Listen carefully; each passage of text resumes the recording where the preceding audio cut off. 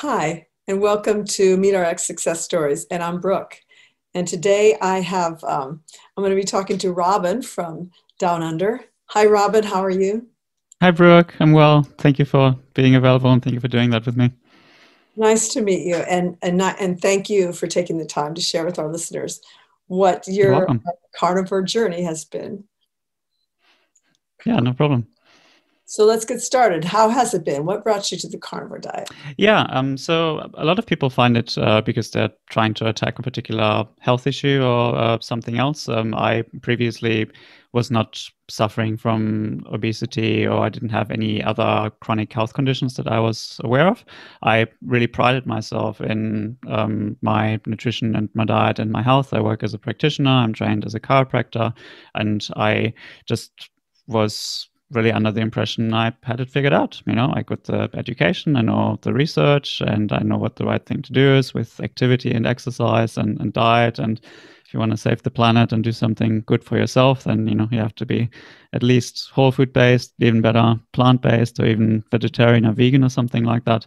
And um, I followed that. It was very low fat, no sugar, no salt, no oil, very very little meat, and predominantly whole food, vegetable based, not due to ideological reasons other than believing that that's the way for longevity and for good health.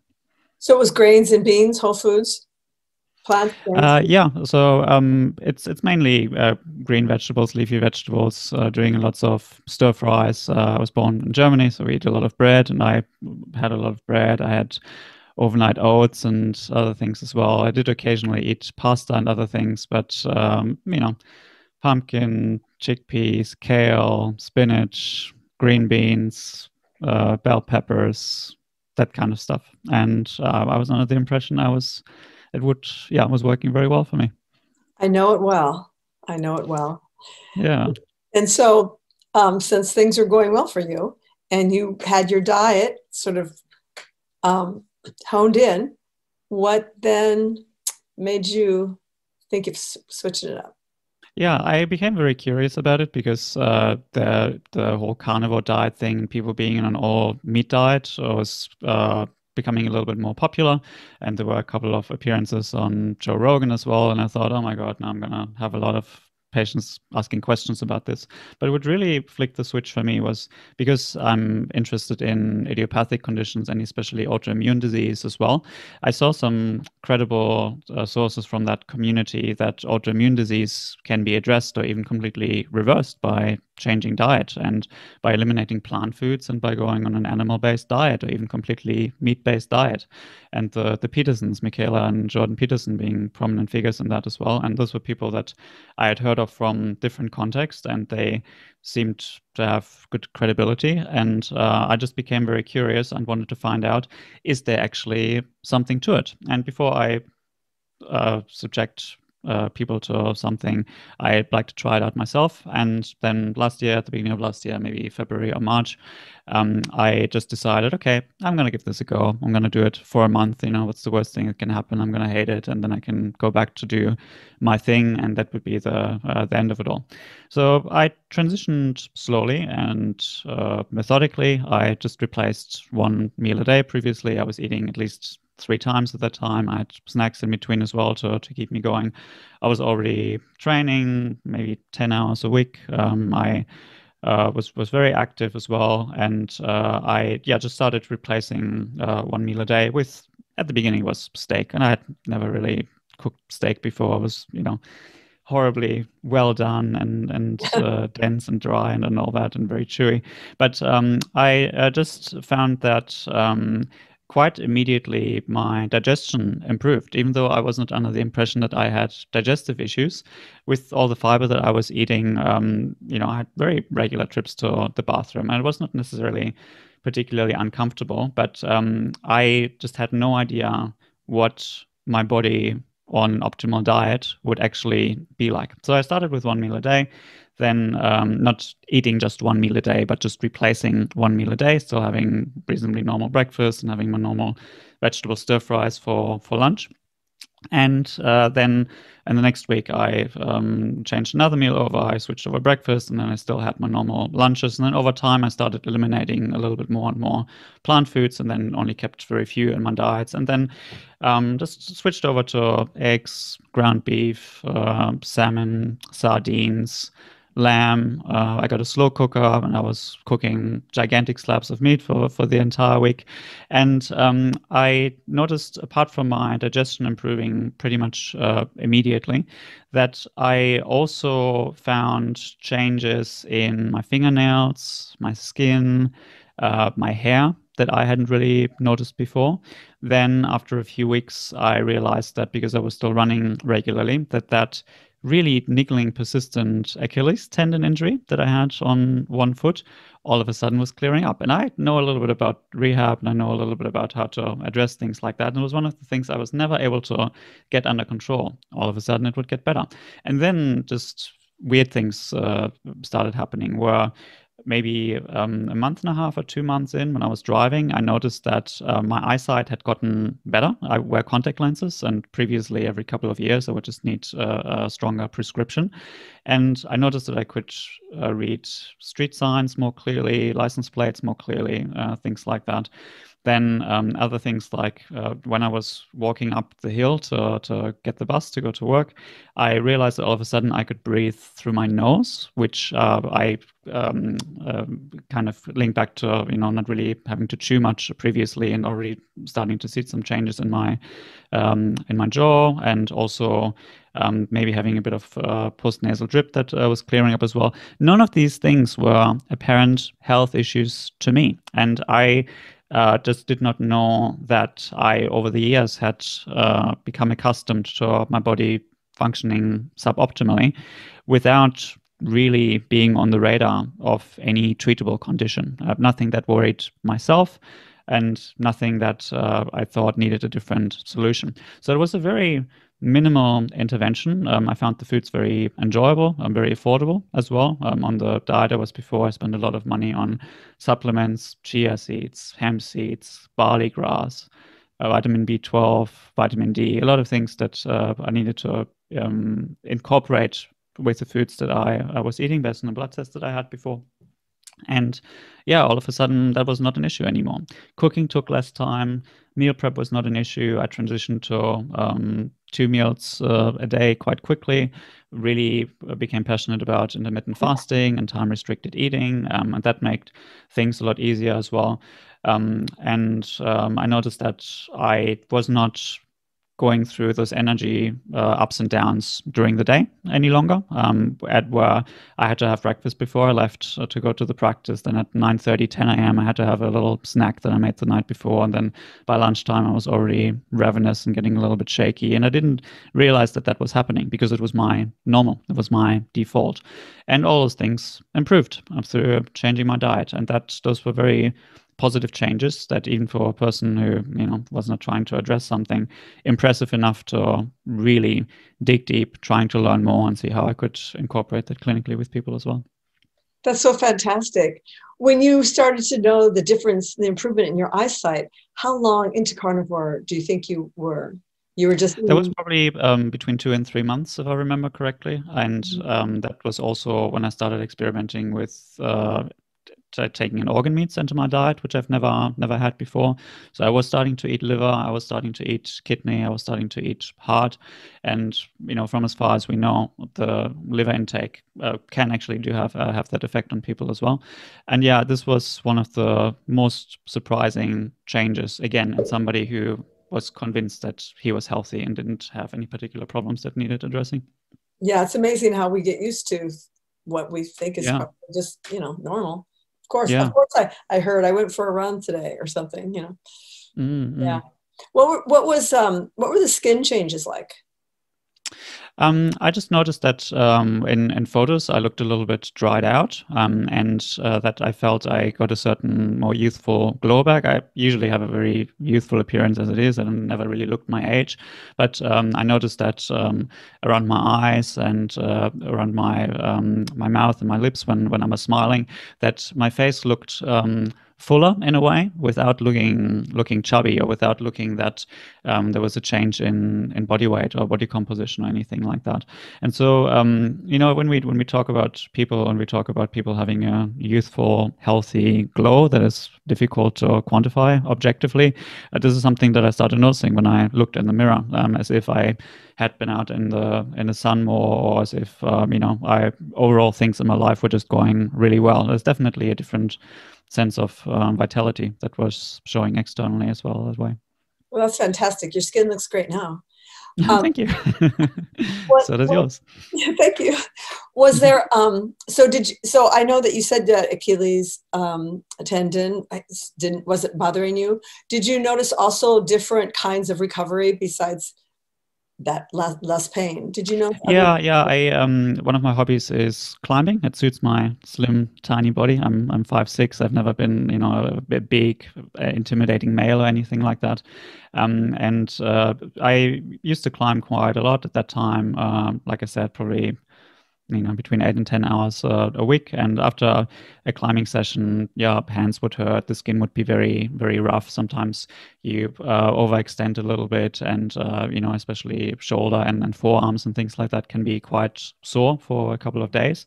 And i noticed that i did not need as much recovery as i needed before even though like i said i was able quite quickly to cut out my supplements uh, quite immediately.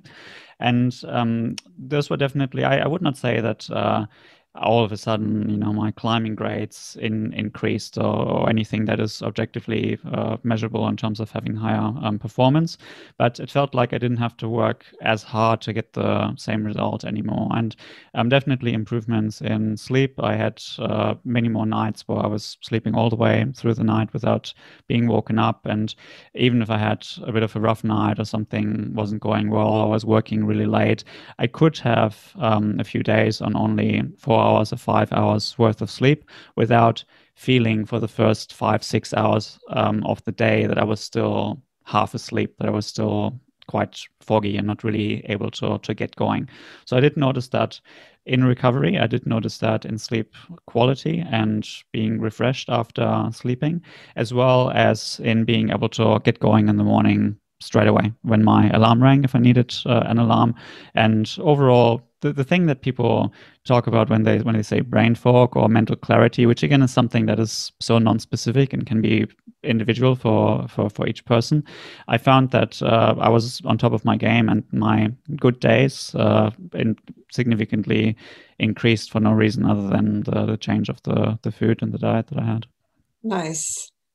Did you notice any difference in body composition? I would say so. Um, my body has never changed significantly. Um, I uh, before I became a practitioner, I had a horrible diet. I was was mainly on you know takeaway and uh, processed foods, and I actually had developed a sugar addiction where I would um, replace entire meals just with blocks of chocolates or gummy bears or something like that, and do that regularly. And it got to the point that when I was coming home from work, I would go into the closest supermarket and um, in the time from the confectionery aisle to the checkout, um, I would already have eaten half a block of chocolate or have had had a complete candy bar, and I would only pay for the empty wrapper. So it was really quite uh, unhealthy behavior. So um, you were and, hungry. You were hungry. Well, it was not just hunger though. It was it was definitely medicating emotions. Um, I noticed when I um, did the uh, uh, when I came off the sugar addiction that I was dealing with a lot of loneliness from a relationship breakup that I had, and there was just a lot of things that I didn't want to deal with. But I just thought, you know, it's not changing my body. I can eat whatever I want. Uh, chocolate and treats uh, always celebrated in my family as well. We're all very slim people. Uh, there's not really an issue with obesity or anything like that. So uh, we might have a metabolism that is suitable for for a high carbohydrate diet as well. Um, but I was quite uh, quite miserable as well. So I um, yeah I was not quite uh, aware how um, that was impacting me. And now I got a little bit off track because I forgot the exact precise question that got me to talk about, about body composition. Body composition. Yeah. So um, with the before and after photos, um, I was not um, overweight. I was not particularly chubby. I had, you know, a reasonably very slim but refined physique, as you would expect for a climber. But um, I definitely noticed that I was uh, starting to look more muscular with the same training load. Um, that some of the like very lower belly fat, and for me it might have been a quarter of an inch or something like that. Nothing, you know, really. Like I was very proud of my body the way I was before. And again, I said, yeah, I know I've worked it out, and it's just about you have to do ten hours of exercise a week. And um, I, I, noticed that with the same training load, that my body was starting to change. And realistically, I was probably not eating enough, or maybe I was not uh, eating enough. You know, it's always the stereotype that you're not eating enough protein on a plant-based diet. Maybe I wasn't for the, the, the output that I had. And again, those were free gains that I um, why I did not need to pick up another habit um, in my life. I was just changing uh, what I was eating, and uh, I would not say that the the change in body composition for me was that uh, massive. But even for somebody who's been quite consistent physically. I did uh, notice changes as well, and I think we've got some pictures on that as well. And some people comment, well, you know, to me it looks the same. The pose is not exactly identical. You know, I'm I'm not a model, and I'm not claiming that I had a hundred pound weight loss or anything like that. It's just the effort that I had to put in to get the same or a better result um, had decreased for me. Yeah, we can tell. We can just sort of tell about the way our body feels and and mm. looks in, with how we wear clothing or something. There's like little changes yeah. that only that only uh, are only the person in that body maybe can tell sometimes. Maybe yeah. Um, mm. But yeah, but there's like a, a qualitative difference. I, I noticed myself. It's like mm. something was more solid. That's beautiful. Mm. Yeah. Well, then, so so you didn't go in thinking that necessarily was going to be these great big changes, but you were able. It sounds like you were just uh, doing yourself and lots of other people a favor by really being diligent and paying attention to all the different changes. And notice so many more surprisingly more than you thought which is fantastic. Um, yeah it was it was yeah. it was quite sorry to, to interrupt. I was very surprised by that and i did not expect that change. Again my belief system being that i was healthy and problem free uh, I, I had a lot of righteousness and probably an ego build up around that as well, and, and not an accurate uh, self image.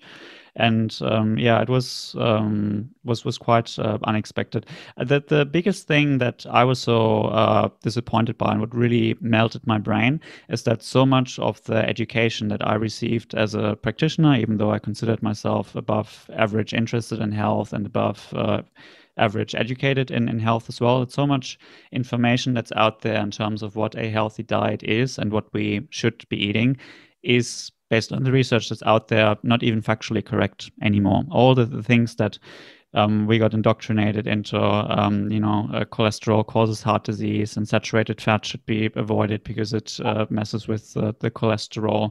The the fact that um, it's it's just really um, we need to use all those uh, uh, those seeds oils and we need to be in a high carbohydrate diet in order to to be healthy. I believed that and I lived that, and I was so flabbergasted and so uh, disappointed that even me as a practitioner, I can be walking around there in the real world and giving incorrect um, advice uh, to people.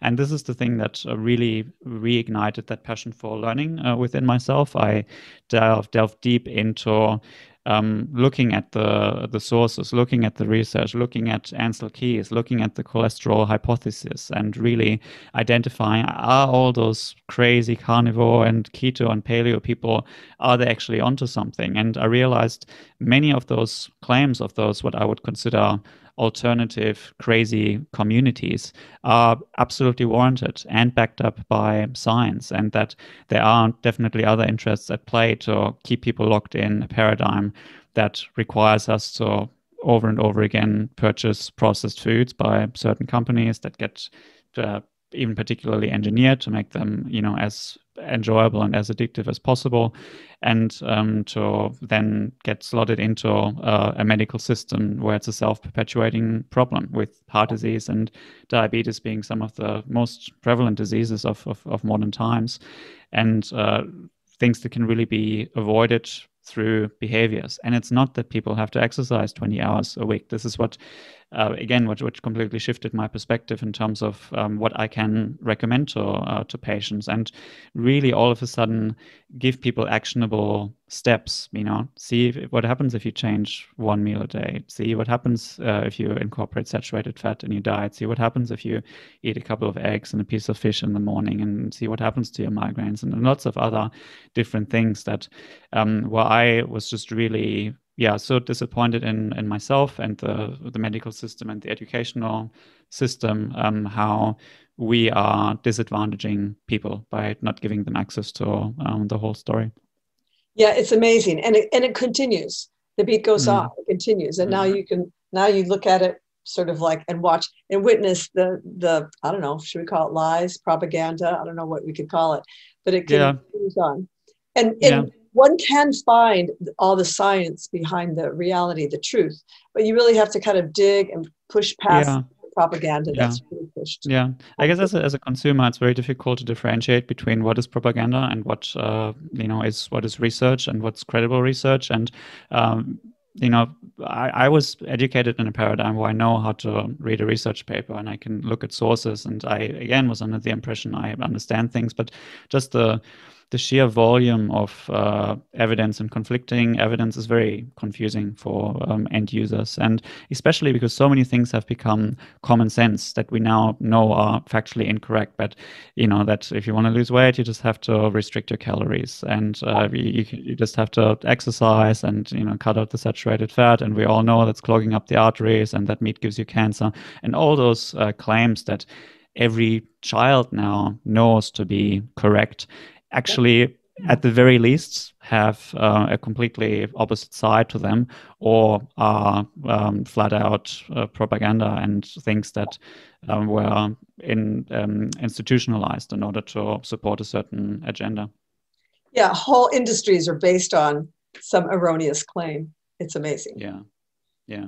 Or even the idea and the claim and the belief that that vegetables were not only good for us, but they were virtuous, and the more the better. Yeah, exactly. And that um, I completely bought the story. I completely bought the easy to explain uh, paradigm. Oh, it's just, you know, it's yeah, it's clear. We can see the arteries are clogging up and must be coming from the food. And if you don't do that, you can see the research and all those plant-based people they live longer. And there is, you know, you can criticize epidemiology and saying that this is all, uh, you know, just by um, association and not by causation. But a lot of things lead back to um, what's called the healthy user bias as well. That people who are more interested in looking after themselves and living longer, they are more likely to undertake what uh, is considered to be healthy behaviors, and they would are less likely to have what's considered unhealthy behaviors. You know, those people would um, prepare their own food. Uh, those people would uh, control portion sizes. Uh, they would uh, carefully plan the diet. They often would have uh, higher quality food. They would live a lifestyle that's uh, more conducive to stress management or reducing stress as opposed to getting stuck in a rut and really overloading their, their body with things that it can't handle long term. And all those those are the people that then look at what's promoted and say, oh, you know, you got to be vegetarian or vegan or at least whole food plant based. And that's where those numbers are coming from. And it's very, again, um, very challenging to have an objective discussion about that because in the scientific community, if you're going against the grain, you're easily um, lumped into with uh, the crazy people that get the information just from Facebook and um, it's, uh, it's, it's quite challenging to yeah it's challenging to establish a, a, a, position that is grounded in in reality. And i was very fascinated to find how passionate people get about diet and nutrition um, as well. I had my um, experiences with uh, vegetarianism and uh, whole food plant based diet. I never called myself vegan, but I was very interested in the ideology and the ethics behind that as well. I believe that you know ultimately we do want to do things for the planet that makes sure that you know we things are sustainable. And there's so much dogma um, around that uh, again that I'm just finding out now that a lot of the claims that are being made on either end of the the spectrum, you know that cow farts are uh, destroying the atmosphere. That that's not uh, necessarily a truth, and that you know if we just get rid of all the ruminants and all the factory farming, we can just grow crops uh, everywhere instead, which is not entirely true. And the dependence oh, on so many fossil ruminants. There were used to be so yeah, more ruminants. Yeah. And the, and the dependence on uh, fossil fuels. And I didn't realize that in order to grow the, the fruit and the vegetables that we're growing, we need um, the uh, uh, petroleum fertilizers or the fossil fuel derived fertilizers, which is producing uh, exponentially more methane than the, the, the ruminants just in the fertilizer production. I didn't realize we had to destroy entire ecosystems in order to do monocrop agriculture. I didn't know we needed to till the soil, which basically renders it uh, lifeless and uh, completely deprives it of its capacity to um, uh, to hold water and uh, contributes to the desertification and the uh, uh climate changes. I was really convinced that by making that choice of eating less meat, I was contributing to the um, environment. And that's a very difficult and nuanced discussion, but um, depends on how uh, you carry yourself and what your uh, consumer behaviors are um, as a vegan and what your behaviors are as an omnivore, as a as a meat eater.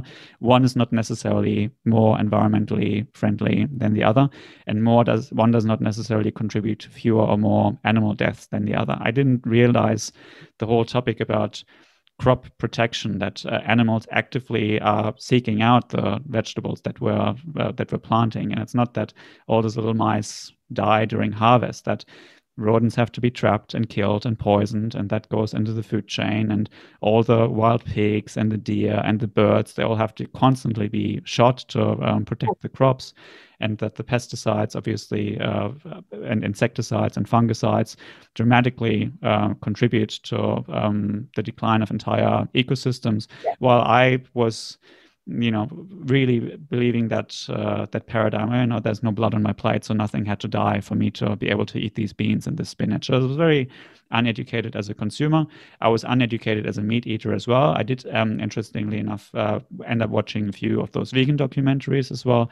Uh, Dominion is a very interesting one that uh, looks into um, the factory farming practices, and that dramatically um, educated me as a consumer. Okay, you know, even if I'm buying meat, um, I have to know where my food is coming from. Just like as a vegan, I also have to make sure where I know where my food is coming from, and that there's not tropical fruit being flown to, to my supermarket from the other end of the world, which doesn't make any environmental sense. But as a meat eater as well, it helped me to make uh, clearer choices to be more connected to my position in the in the food chain and my um, power as a consumer in the distribution network as well that I can literally make choices uh, that impact uh, animal welfare and uh, the ecology of my immediate environment as well.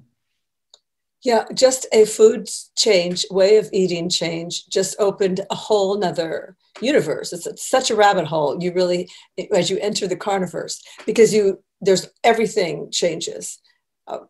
How you yeah. view medicine, how you view your health, how you view eating, how you view uh, t- taking care of animals, how you view farming, how you view the soil, and it just goes on and on. So I think it's really great that you have been um, uh, so um, actively you know wanting to find out the information and uncovering more and more information and then you get to share that with your in your practice with your yeah thank you. And, and i have uh, you know countless anecdotes of, of people that um, I have never really been able to look after as a practitioner because I felt it was outside of my, uh, you know, my my area, not of expertise because we do advise on, on diet and lifestyle, but outside of my skill set to um, facilitate behavioral change. And I have a lot of people who do um, struggle with weight, and uh, you know some frustrating stories of of people really really putting the effort in. Because as a practitioner, the stereotype is, oh, fat people are lazy, they're not trying, um, they are lying as well because there's no way that they can actually be eating the things that they're telling me they're eating and still you know have the body that they have. And um, i um, was probably very very judgmental and and very uneducated on on that as well. And i have um, stories of people who um, completely changed the, the diet, you know, basically just on, on salads and a lot of uh, raw foods. Um, then getting a personal trainer specifically for weight loss and within a month or six weeks actually having gained weight despite all the, the efforts that they, they were putting in. And you just, you just have to imagine how humiliating that is for a person if you are really doing everything exactly as instructed. And first of all, you're putting all that effort and that work in and you're not getting the results. Then people accuse you of being lazy and, and not trying, and then they give up on you. And I, I can just uh, only imagine how crushing that is for an individual. And now seeing people who their entire lives have really been trying to do the right things. And all of a sudden, there's a whole nother world opening up for them that is immediately improving their health and well being, giving them the empowerment and the agency back, and also is giving them the uh, results and the self confidence that comes with that and the health benefits that comes with that. It's a very, very um, beautiful thing And that humbled me tremendously again to realize how little I know and how willing I, I, need to be to, to continuously educate myself as well. And previously, you know, I was spending three, four hours a week on shopping and food and supplements, and I had to plan my meals, and every meal was freshly cooked and all those things. That those were not things that I could easily you know if, if somebody's got a family and a job and other things to worry about it's very very hard to make changes like that in an adult life so i felt i could not do the right things to um, uh, allow people to change that behavior.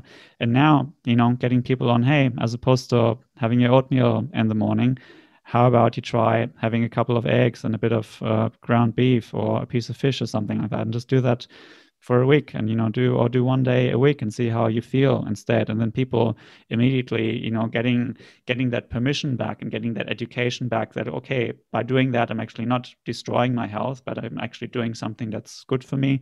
And then them redeveloping that immediate connection to their body is very very gratifying i'm very yeah i feel very very blessed and very inspired again that um, i get another opportunity to expand the the tool set in terms of uh, giving people the power back and giving people the health back.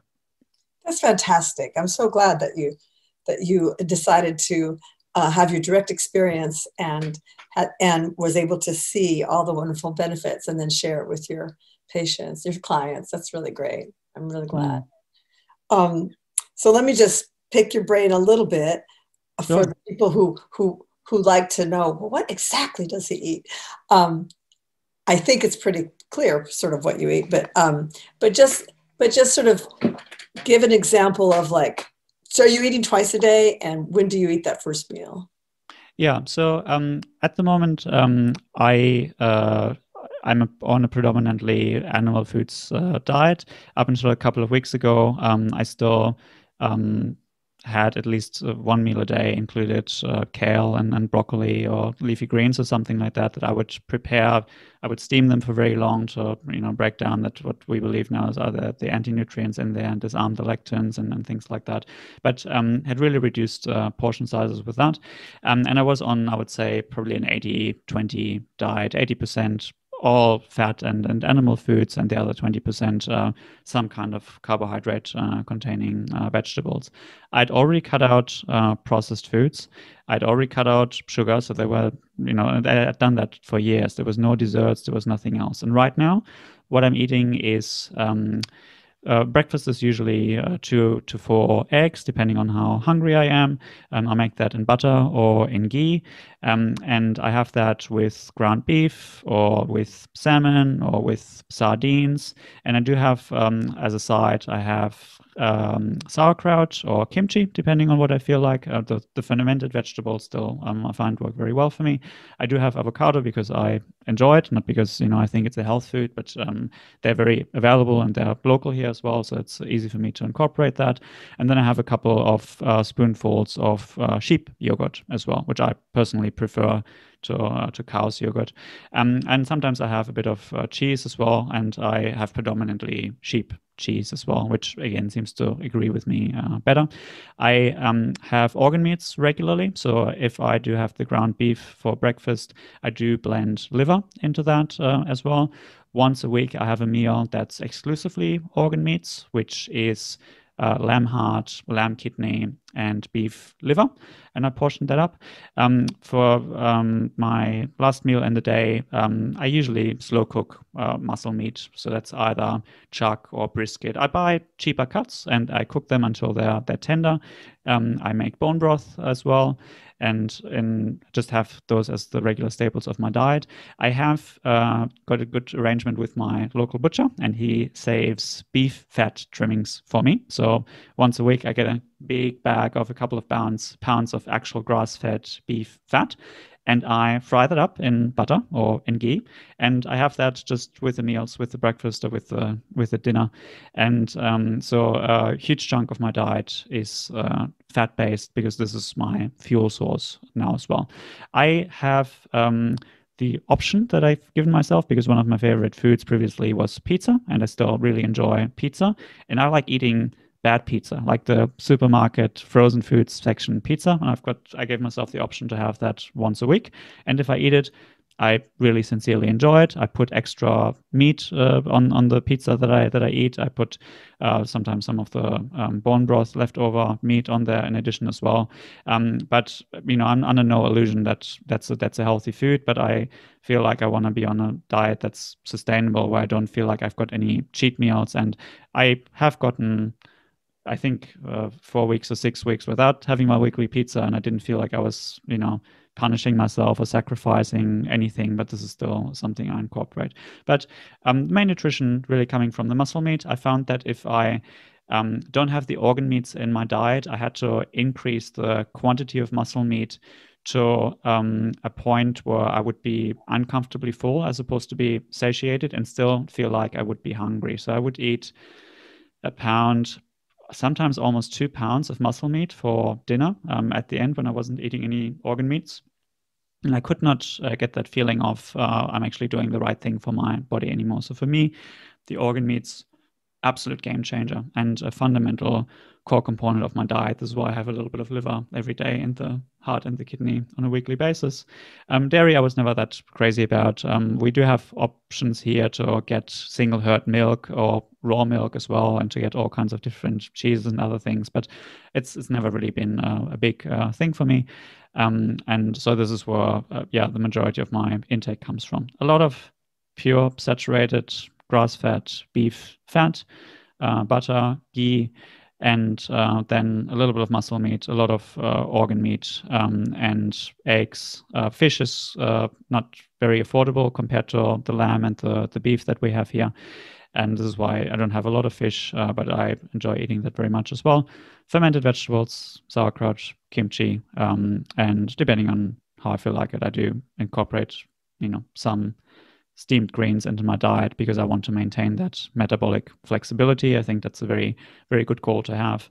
Um, uh, but yeah, that's that works for me. And it took a while to tweak that. And I don't think there's one prescription that fits everybody, but those are the things that I've worked out over the last year that uh, make life very, very easy for me.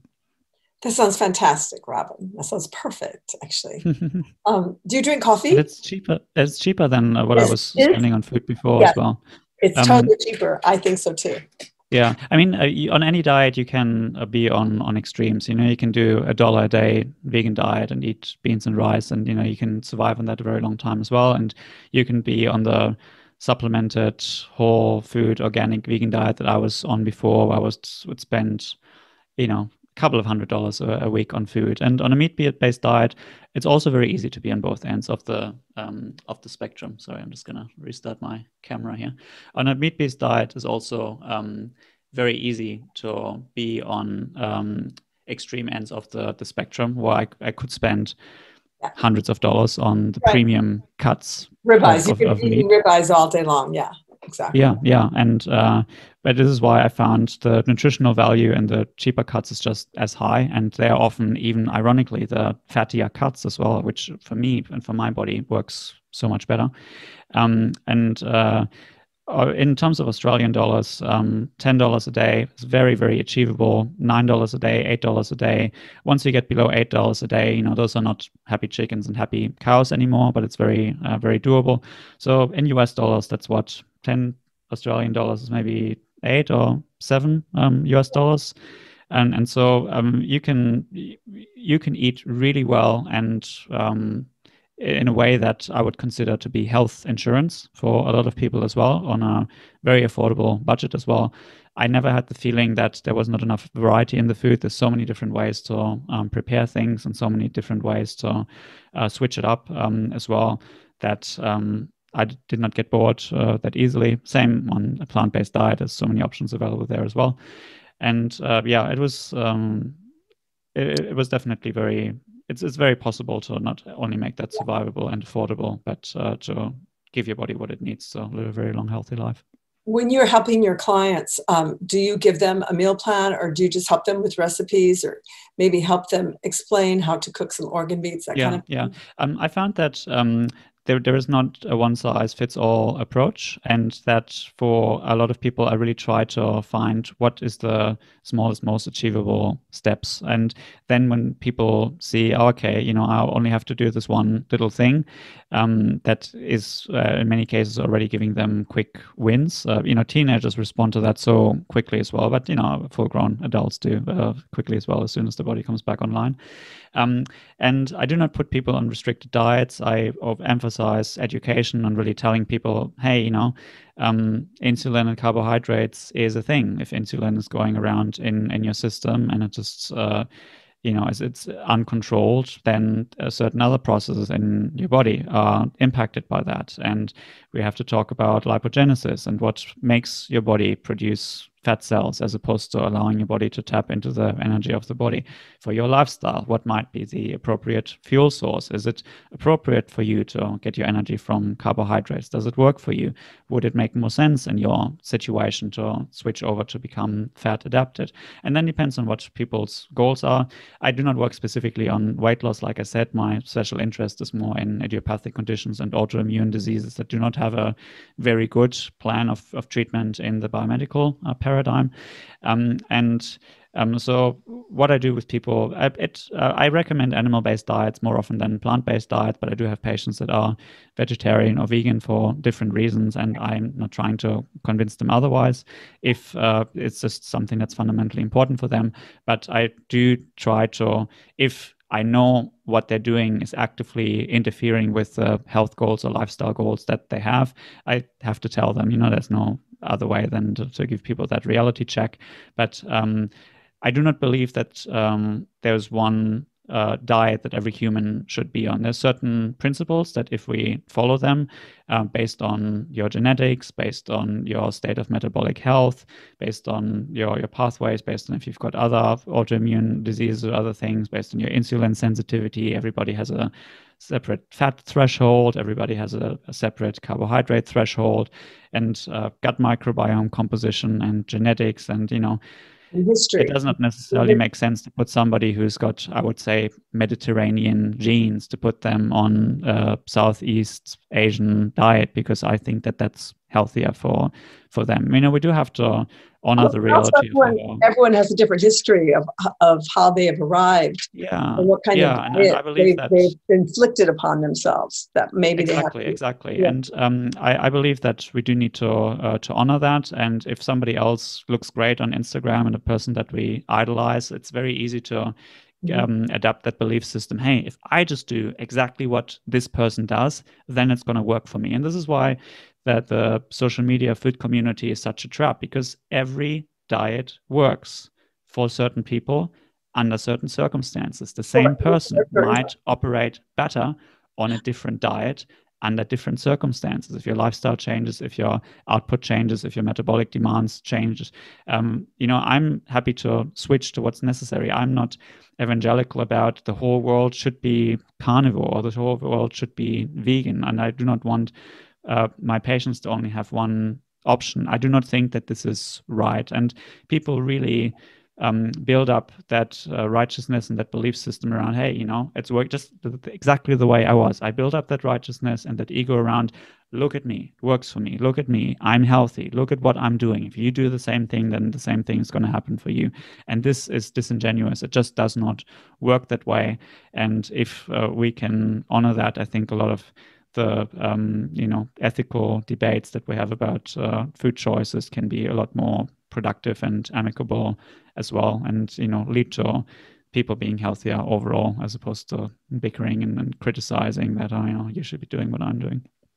Well, direct experience is key, and you've proven that with your own direct experience and how it opened up a whole mm-hmm. new way of thinking mm. You about food. It, it, I, even though I did it uh, slowly, and uh, the, the, vast majority of my experiences were positive, there are certain animal foods that don't work for me. You know, a lot of people really like cooking with tallow or with lard or bacon, leftover bacon grease or, or, something like that. And if I have that even a little bit in my diet, I get really, really bad reflux from it. And I've researched it and I still can't quite work it out. And I've narrowed it down to that particular thing if I eat it, you know, like clockwork, I can't fall asleep because I feel like I have to throw up and I actually almost get a headache and I never get headaches because something is not uh, aligning with, with my body. Okay, I had to I mean, that's accept that. Fat. That's not a ruminant fat. So that really is a different fat composition yeah yeah and you know there's different uh, different reasons for that. But you know if i just follow the generic uh, carnivore advice you know not all of that is is working for me either.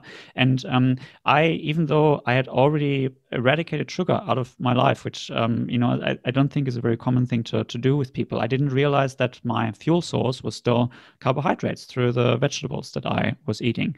And when i um, was not eating any anymore after i uh, switched i had to go to that fat adaptation phase as well. And in that stage, I was still training. I was still running. I was doing pull ups for climbing training.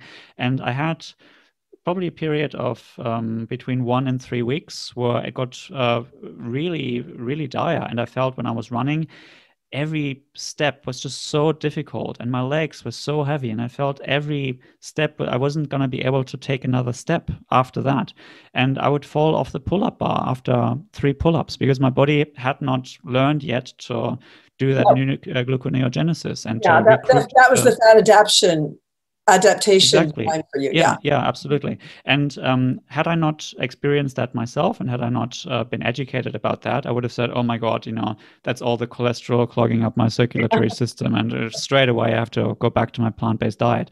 And I'm sure I would have, quote unquote, felt better to uh, just keep eating my vegetables at that point. But um, as soon as my body was able to repair the metabolism and to switch over to um, to the fat adaptation and for me to learn more about electrolytes and to realize oh my god i had accidentally because i was not seasoning my food uh, not even using salt i had accidentally completed completely eliminated all sodium from my diet as well. I didn't know about potassium. I didn't know about magnesium and any of the other uh, electrolytes. Um, that now especially with the organ meats uh, i can uh, compose that uh, in a way that works for my body where i feel i've got just as much uh, strength that I that I had before. But I needed to uh, to learn that, and then other things, uh, you know. Uh, some ways of preparing the, the bone broth seem to work better than others, and uh, some animal foods again uh, seem to agree with overall my sense of well-being better than others. And then I learned about the animal feed impacting the omega 3 to omega 6 ratios in, in uh, food as well. So, a lot of pork um, is kind of off the off the table for me for uh, for that reason. And so you know you just learn more and more about it. And um, if something doesn't work, um, it might just that it's a lack of education. I've only been doing this for one year. Diet is something that uh, continually changes as our body changes as we're going through life as well. And so it is, uh, I think very very fair that no matter on which diet uh, you're on you can develop that palate fatigue and you need to switch things up um, at a certain time. But apart from that i i never had those stereotypical like carnivore you know digestive system problems i was very surprised that immediately as soon as i reduced the fiber intake in my diet um, I didn't know what perfect digestion felt like and, and looked like. It's, it's just a complete 180 degree from you know what I thought was no, normal. that was one of the, the most amazing first things. Was like, oh, well, that was nothing. I feel nothing. Yeah. I feel yeah. I feel nothing. Yeah. I just ate a big and, steak and I feel nothing. Yeah, exactly. And um, for me, they're not um, really feeling particular withdrawal symptoms. That's I think a bit of a unique thing that I was, uh, you know, already off the of the sugar and, and not that dependent on you know direct uh, carbohydrates. You asked me about uh, coffee as well. I, I'm a weird person. I've always really liked water. It kind of suits my personality. It's very bland and you know very very basic, I guess. And um, so I, have never been big on on coffee or tea or caffeine or anything else in general. So there was no withdrawal for me um, in that regard. Um, I didn't have the sugar withdrawal, and other than the fat adaptation, um, because I did the transition very methodical, and I didn't just you know from one, night to the other. First of January, I'm going to be carnivore. It was very possible for my gut microbiome and for my metabolism to start switching over as well. And this is what I would recommend to to people, um, because uh, you know if you're changing so many variables at once, you're likely to blame the change in diet because it's you know if you're not getting results, it might be because it's too aggressive, not uh, because it fundamentally doesn't work for you. So that's you know the the coffee story. And uh, like I said, it.